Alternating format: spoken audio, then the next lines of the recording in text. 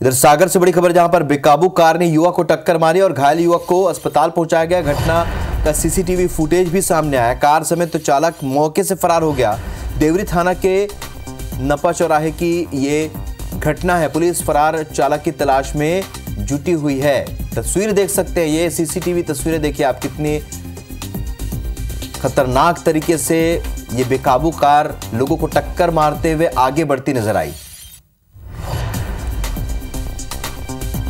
तो ये हादसा देखिए आप सागर से, जहाँ पर बेकाबू कार ने युवक को टक्कर मारी और उसके बाद वो कार आगे बढ़ते चली गई। बहुत से लोगों को चपेट में लिया।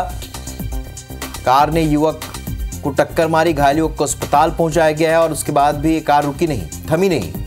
लगातार आगे बढ़ते रही। तस्वीर देख सकते हैं, वहाँ लगे सीसीटीवी कैमरे में तस्वीरें सामने आई हैं, जहाँ पर एक बेकाबू कार भीड़ में घुसकर लोगों को यहाँ पर ठक ठोकर मारते हुए आगे बढ़ते नज़र आई